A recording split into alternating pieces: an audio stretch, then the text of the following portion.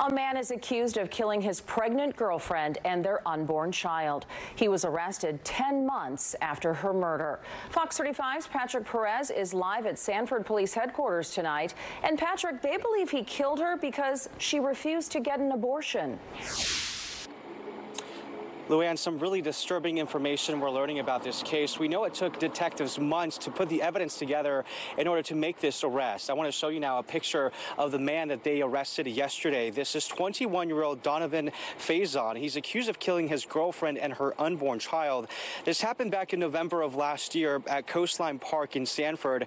Today, a banner in memory of 18-year-old Kaylin Fiengo still hangs from the fence near this crime scene. An officer patrolling the area found Kaylin dead in the driver's seat of her car while parked at the park.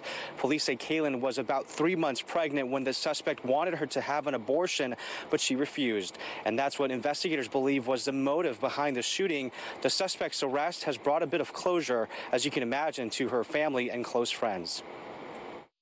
It did take a long time. It's very bittersweet. It makes it feel more real. Definitely that he's in jail now, but um, I'm just happy that justice is finally being served for her. Just a lot of emotions. Um, very happy, but also sad that this is something that we're like celebrating or whatever.